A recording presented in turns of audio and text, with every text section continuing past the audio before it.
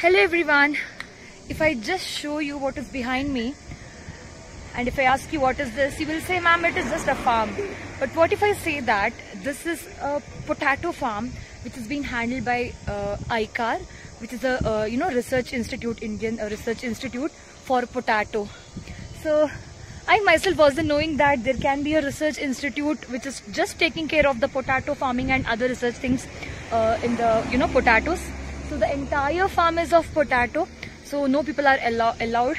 And also we could see uh, like over there, there is a very small shop where they uh, sell hot dogs and all this and they also sell the uh, you know french fries or I can say potato uh, chips from these uh, you know ICAR. So um, uh, I just forgot the specific name of this institute. It's I IPAR or ICAR.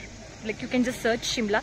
So yeah, this was a little enlightening for me that I never thought that there can be a farm which is just of potato and uh, can be taken care uh, by a you know which has been taken care for by the research institute and research are happening in this uh, farms and institutes is nearby.